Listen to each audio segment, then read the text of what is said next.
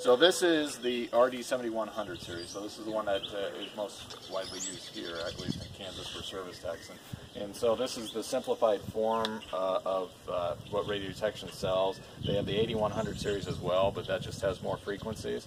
Uh, this one is five frequencies, but you can also dumb it down and make it a one frequency locator like the other two that we had shown you. Uh, but you have a display on this one, that's what makes it a little bit different, um, it, where it's going to give you an automatic depth reading showing up all the time, and that's down on the bottom right hand corner. And then you also have a compass that orientates you what direction the line's going. So if you come across a turn or something, you can see it right away because the compass will turn. Uh, and then you also uh, have a bar graph and, and the null mode. So the bar graph the numbers are your peak response. Wherever you get the highest response, that's when you should be over. And then the arrows would be your, your null response, telling you to go left and right. So you can use both simultaneously. If they both say it's in the same spot, you can be pretty well sure you're, you're on the line. And so we start this one out with the transmitter in, in conductive mode right now. It, it will do induction as well, but to do induction, all you have to do is unplug the cables and you would set the box over the top of where you think that line is with the handle going the same direction as that line. And so uh, when you go into induction on these, it automatically goes to the frequency that should be used for induction, which is 33 kilohertz. And when I go back into conductive mode with the cables, it will go right back to the frequency I was using last when I was conductively locating, and which was 8 kilohertz. And so when you hook up you want to get that ground the opposite direction of where you plan on going. They usually say 90 degree angle. Uh, I just get it off in this direction because I can see the flags are headed over this way, so I assume we're going to be locating in that direction, and so it's away from the receiver and not going to give you interference. You also want to try to get the ground away from steel buildings like this because these steel buildings, they just like to suck a lot of signal into them, and they really confuse your locator if you're trying to locate right up against it. So I'm going to turn my transmitter on, and first thing I'm going to do is select my frequency. We have three basic frequencies right now on this transmitter, which is 512 hertz, 8 kilohertz, and then 33. So that would be a low, a medium, and a high. The low frequency is going to be great for not bleeding off, and it's going to go the furthest distance as long as the other end of this cable or this trace wire is grounded. But I assume it's not because a lot of tracer wires aren't. So 8 kilohertz would probably be a better choice. But when you hook direct, you're going to use usually one of those two, 512 or 8 most people end up using eight because it locates almost everything for you. So uh, it's but and it's not too high where it's going to bleed off. 33 will bleed off a lot more. And so to choose your frequency, just hit the F key. That's what it stands for is frequency. And I will go ahead and just uh, choose 8 kilohertz. You'll see it come up right there on the center of the screen. After I chose my frequency, I will look at my output setting. My output right now is on 2 bars, which should give me 20 milliamps if I'm not hooked up correctly here or if I don't have a good ground over there, I'm not going to get 20 milliamps. This is just a voltometer. That's all it's doing is measuring the continuity of your signal going down this line and coming back to the ground rod. And so if we're not getting 20, we better start looking and seeing why. Um, and I can increase that by hitting the up or the down arrows here. So if I increase it another bar, you can see now it's going up to around 100 milliamps.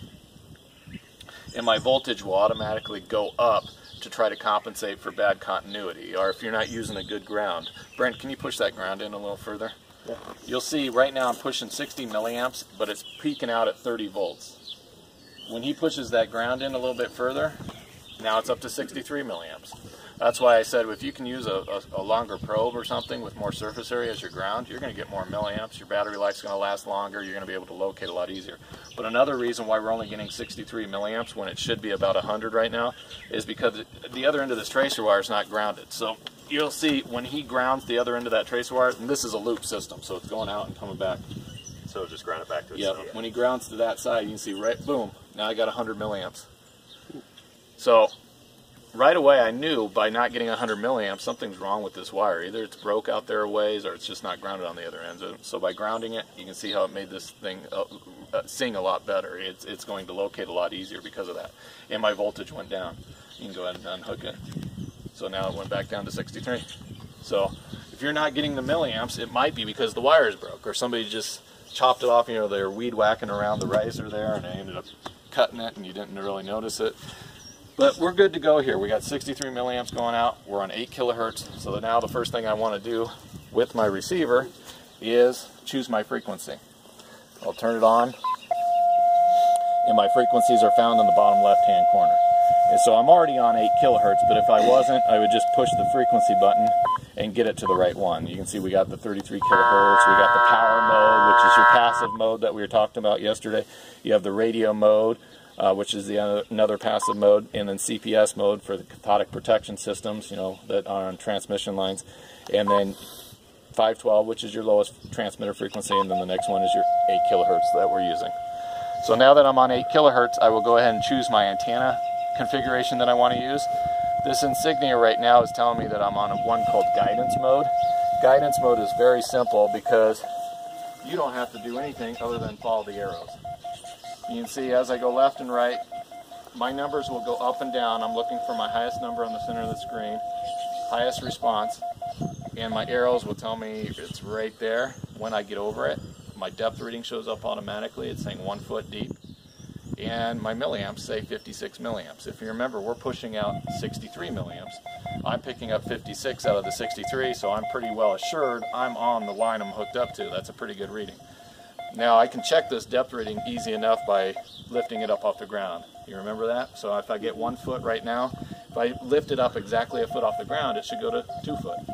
And right here on the bar graph's about a foot high, so I can mark it with my finger and right there is, yeah, one foot 11 or two foot. I don't know if I'm exactly a foot, but mm-hmm. but it's a good way to verify that your depth reading's right. And then by watching your left-right guidance arrows in your in your numbers, you can verify that you're correct left and right. Now, if I push the right button here, I can go into a straight peak response with no arrows, just like we are using on the other one. You're listening for the highest response is all. But guys like arrows. You know, a lot of people like arrows. He likes arrows, right? No. So right here. So if I push the the uh, antenna button again, I will go back to what they call peak and null response. This one gives you a nice peak response over the top of it, and it gives you the arrows, the null arrows that you like to use when you when you need help going left and right. And then the last one here is back to guidance mode. So you got three options on here. That guidance mode, which means you don't have to do any of the gain control adjustments or anything. You just follow the arrows and you can hear it nulls out or you get no noise when you're over it. Peak mode where you get noise over it but no arrows. And then the last one, peak and null combined. This is the one I like to use because I like to be able to hear that peak response. And I still got the arrows there to make sure I'm, I'm, I'm on it. And then I can go ahead and follow this out. The only difference is I have to adjust the gain level. So as we're losing signal from the transmitter because of distance, I may have to hit the up arrow to increase my gain. But you can easily tell I'm over the line. My compass is straight this way. My depth is good. And you can actually use the depth as a way to locate the line as well.